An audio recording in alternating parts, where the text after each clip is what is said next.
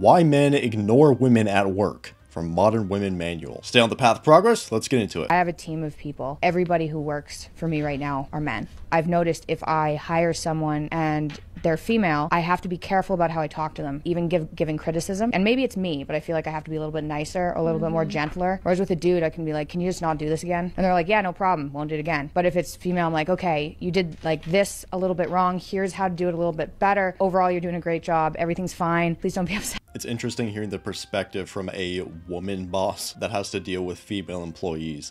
She even admits like, oh yeah, women are they're way more emotional and more difficult to deal with because of it. If a male CEO came out and said that exact same thing, he would be canceled. I was a man and I'm not a man, but if I was a man, I wouldn't hire a woman. I wouldn't do it. And I say it all the time and I say that and that is something that women need to consider when they're talking about this stuff. When you are saying that a man complimenting you and saying, "Oh, I really I, oh, I really like your outfit today," um, is a form of sexism what is the if you're a man why hire a woman right so you no, fought no. all this time to be able to get into the workforce only to say these are going to be the rules you know if you say anything even if you compliment me if you if you look at me anything i'm going to have a reason to fight you and by the way you're going to want to settle and pay me because even just the stain of an accusation is enough to ruin men so what wow. is what if you're if you're a guy right in this society in this me too environment in this in this uh, litigation rich environment of misogyny and sexism and all of these claims what is the value add? Uh, what's the the risk? You know, the the benefit and the risk. I just I can't do the analysis. And For a lot of the big companies, you don't hear this talked about enough. In today's world, it's meaning less and less if you're actually qualified for the job, and it more depends on what's in between your legs. What skin color are you? Who do you who do you like to have in your bedroom? Did you know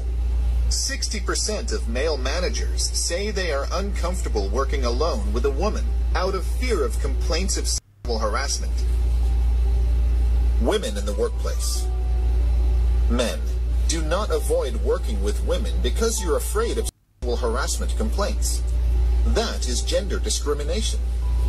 To avoid sexual harassment complaints, do not sexually harass people.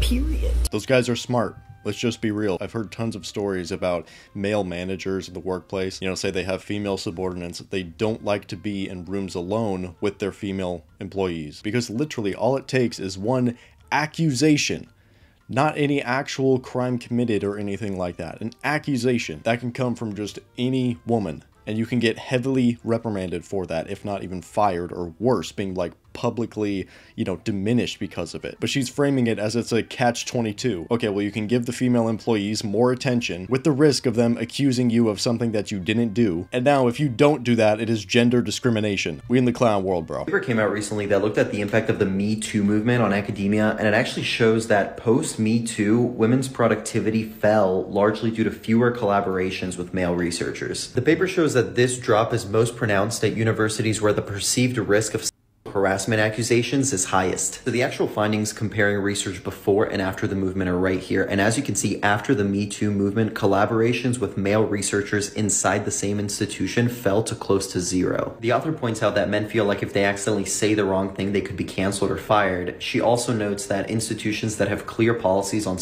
harassment help reduce this perceived risk. And this isn't just in academia. The paper also cites a 2018 study which showed that 60% of male managers are uncomfortable participating in common activities with women due to the same concerns. And a curious finding of the study was that men make up for the loss in this collaboration by just collaborating more with other men, whereas women don't make up for it at all. The author concludes her findings by saying that Me Too was important for raising awareness, but it's also increasingly important for institutions to have a really clear harassment guidelines. So, big takeaway from this there has to be repercussions for false accusations. There has to be. And the repercussions should be just as severe as whatever they are falsely accusing that person of. We need to hold them accountable. A lot of these women that put false claims on a man's name ruins his life potentially, and they face no repercussions because of it.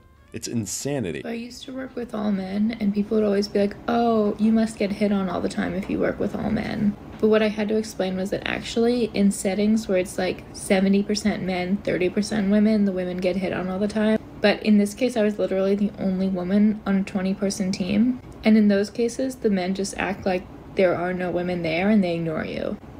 At least that's what I told myself. We talk for a moment about Me Too. You've rejected the idea that we should always believe the victim in a, in a, in a rape Well, that's accusation. obvious. That's Yes. what happened in the lynch cases in the 1950s in the United States. The victim was always believed. Yes, and I was going to say that's fair enough. But why not accept the situation as being the victim deserves to be treated as if she's telling the truth in our attempts to get at the truth, and in doing that, we do our best not to re-victimize her. Because that isn't how the adversarial system works, and I don't think But that we why not advocate for that? Because the rather sim- adversarial system is a very effective judicial system, and it's certainly the case that among crimes that are falsely reported, crimes are at the top of the list.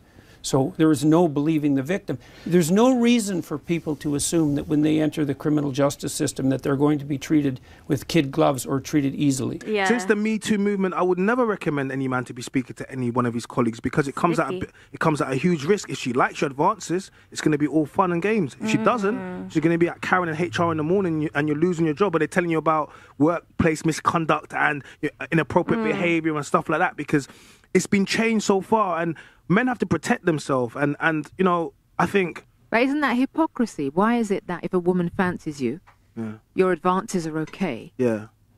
But if she doesn't it- it- fancy you, It's because then it's mm. deemed It's as bec- something that is negative. it's because they it's mm. because it's because Does that mean that we've forgotten how to have discernment as Yes, women? because because because what's happened now is like what Pearl said is like someone is gonna say to you that was wrong. Or truly, all it takes is that one false allegation and your life is ruined. So, can you blame these guys for not wanting to interact with their female colleagues? And one of the biggest things I want to say in this video is, of course, awful things happen to women. I am not saying that at all. Of course, there is real harassment that does take place, of course. But what I'm trying to drive home is the side effects of this, basically, where you have a good amount of women basically taking advantage of this whole Me Too era, where they are now weaponizing it against the men that they just don't like, whether they did anything bad or not. They didn't get a raise at their job. Oh, actually, I don't know if you knew this, but this guy SA'd me. Yeah, did you know that? I think, yeah, he should probably be fired. And I think I should have that job because I'm super, like, I'm the hardest worker. And then there's almost never any repercussions for falsely accusing a man. meeting with a group of guys several years ago about never being alone with another, another woman. And this one guy said, Hey, bro, in my job, and I know a lot of you guys are thinking the same thing. Hey, bro, in my job, I have to be alone with women. I'm like, No, bro, you don't. This guy, six months later, confessed to having an affair with this woman the entire time he was telling us he had no. This is something I would generally not recommend for the guys. Try your best not to get involved with your coworkers. It will just almost always end in rubble, all right? I have a little bit of personal experience with something like this. This is when I was younger, when I was like 20 years old. I was working at a place, one of the girls there was cute, started seeing each other, but it ended up not really working out in not a really great way. And then after that, you still have to show up to work and see each other. It's uh it's really really awkward and I won't dive too deep into it but it didn't end in the best way either. So seeing each other constantly it was uh you know it was a headache for sure. So really just be aware of that. If you are going to be getting involved with a female colleague, be prepared for the chance that you might have to quit the job or potentially be fired because of it. It's a it's a big risk but just know that when you're going into it. People, including myself, only became aware of the Me Too movement in 2017 when Rose McGowan, a white wealthy woman who was a famous actress, brought it up. But it was actually started all the way back in 2006 by Tarana Burke, an African American social activist. Women of color have been speaking up about sexual abuse in low income workspaces for ages, but they never garnered the same attention as a rich white actress. I go back and forth on this, honestly, of whether or not Me Too was actually a real thing or not, or if it was originally intended to basically be a weapon against men. Because in the beginning, it's like, okay, you're catching actual scumbags, like the Harvey Weinstein guy. But then now, what it is today, oh, it's Steve from accounting. He, sm- he smiled at me a little bit weird, so I've now I've been SA'd. Okay, you can be fired and publicly lambasted you can lose your job. So I want to make that just super clear. What I'm actually talking about in this video is the false accusations, not the actual real situations because those are awful and they should not happen. There's this guy at my work, right? And when I first started, he was so nice. Literally was like, "Hey, like whatever. How's your day?" He wasn't like exactly like that, but like whatever. He was just really nice, really friendly, cool, cool people. Okay? He told another coworker, "Oh my god, I like her. Like tell her and then let me know how she's feeling." She told me. I said, "Mans is not my type." I come into work the next day. I'm thinking everything's fine, everything's cool, everything's great. Literally, man's ignores my presence. I'm not even I'm not even there. I'm air. I'm like a ghost. This man will not make eye contact with me. He will not acknowledge my presence. He was already going out on a limb, risking his job. So he comes back and he's like, nope, just 100% focused in on work. You don't exist. You're invisible. As he should. His comment. When I worked at a national company, we, all the males, treated the females like they were air. Near zero interactions. That's what it's come to, bro. Never ever hit on coworkers. And a side note on this one, a lot of women really don't realize just how much of men's attention is attention. I would venture to say 80 to 90% of all the attention that men give women is sexual especially if she's like below 30, average attractiveness, and a lot of women are completely oblivious to this. So that's why you see when they get older, you know, they're hitting like 35 or 40, their looks have gone downhill, and all of that 80 to 90% of male attention just completely evaporates. Like, oh, what? What happened? And they don't realize basically all of that attention was because of how they look. I just prefer girls in literally every possible way of speaking. And like what does if that I even could mean? go through life without interacting with men, that sounds like paradise. See, bro, this is like just pure misandry. That's all that it is, and it's so and it's so casual today. Because you know, for me personally, I would prefer women for some things, and I would prefer men to do some things. Even for me personally, I have my preferences on this stuff. If I'm dealing with any type of customer support, anything in the service industry, basically, any type of healthcare, I want there to be a woman. I want to be interacting with a sweet talking woman, and then I have my preferences for male roles as well. Are they building anything for me? Are they fixing anything, etc. I just wasn't expecting guys to still be so immature in their 30s or be so scared of commitment. Mm. But when you're 34, when you're 35, and you're still like, yeah, I don't know what I want, I'm like, dude, you're like old. Dude, you're like just hitting your stride and hitting your real value. but why wouldn't you settle down with a 35 year old woman like me? We're not the same. That's it. Women are not meant to be working these 40 hour a week corporate desk jobs. We're not. I don't want to be here anymore. Man's flirt, depending on how he looks and presents, is another man's harassment. Yes, yes. And we are not doing a good job as women being able to explain why it's harassment versus being an attract a- attractive opportunity. Men are frustrated. Men are not understanding what is the difference and why am I a threat if I'm being kind to you. So, because of your behavior, women, I am now going to pull back my finances and resources. I'm now going to reduce my presence. I'm going to reduce my intentions, my efforts. This this meme right here. That's all I gotta say, bro. This meme right here. I just walked by a construction site and nobody tried to holler at me. Did I lose it? Did I lose it? Just no, no, we- we're not gonna do it, bro. You're a woman that goes into the gym and you ask yourself, like, why does every man stare at me? Why don't I get approached by these men? Is something wrong with me? I'm gonna tell you the answer. I'm not being Delulu. This is just facts. I know it, and I've heard it from men saying why they don't approach me. The reason why you are not getting approached is because these men see you as a woman with high value. What? A lot of men just want to have fun. So they go and push themselves on women that they think don't have high value. This is the truth. Like, I'm trying to be kind, but that is the truth. If you are not getting approached in a place where everyone's breaking their necks to stare at you, they know that if they approach you, you will hurt their ego. Incorrect. This is why women cannot take dating advice from other women.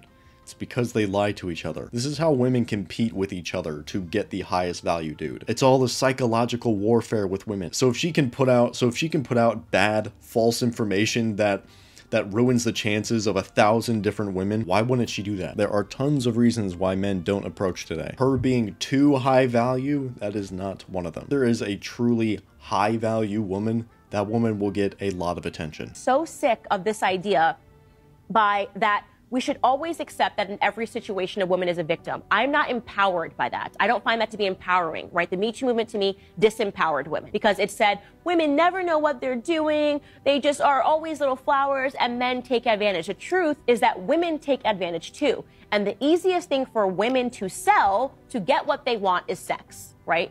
This is what Tag the Sponsor proves. I want to be rich, I want to have money, and I don't want to work. So I'm going to sell sex. I have no talent and I want to be an actress. so I'm going to sell sex. Sex is a power that women have. Being beautiful is a power. Being aesthetic, being feminine is a power that women have. And women tend to wield that power heavily throughout society. The other problem with dating is that one, I've been single for too long and I've lived alone for too long to where I'm too good on my own. I don't need a man. So I'm too forward. I met a guy out in the real world and he asked for my number and he would text me like here and there to like meet him out at the bar. And I'm like, mm, nah, that's okay. I wanted him to ask me out on a date, okay? One night he asked me out to meet him and his friends out at the bar. I said, no, that's okay. And he said, dang, so I'm just never gonna get to hang out with you. Ask me on a date. Ask me on a date. We can go on a date. So I said that. I said, if you asked me on a date, we could hang out. he didn't like that. He didn't like that very much. He just said, damn, okay, I guess that means I can't hang out with you.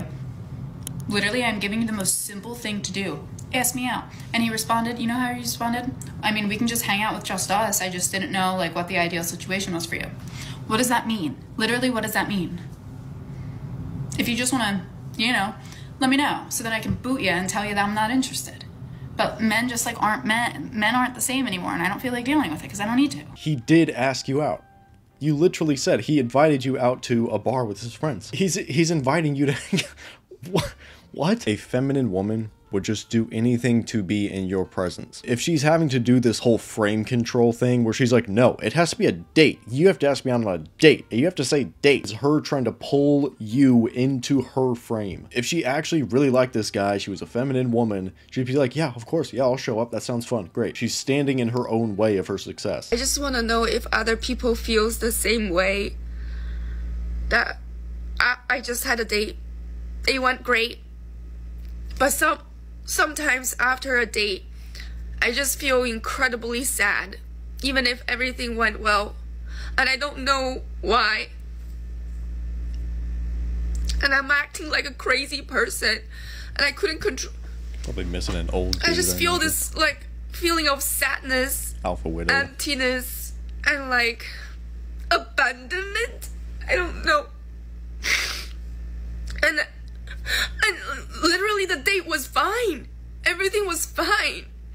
And I don't know why I'm feeling this way. Like do you do you feel this way? And like every part of me just wanna like block him, self sabotage and just never talk to him again so that like I just disappear. So I won't screw it up. Like I just wanna end it end everything now. When everything was just going so smoothly, like I don't know why. Um maybe I'm just too broken to have like a normal relationship. Like my it gets so exhausting to overthink everything because you pick up on every little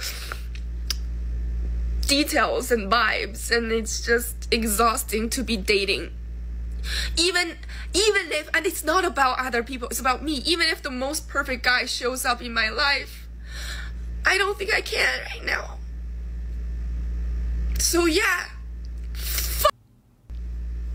That, that video was actually quite real. This is what excessive dating does to women. Like there is only so many times that you can fall in love.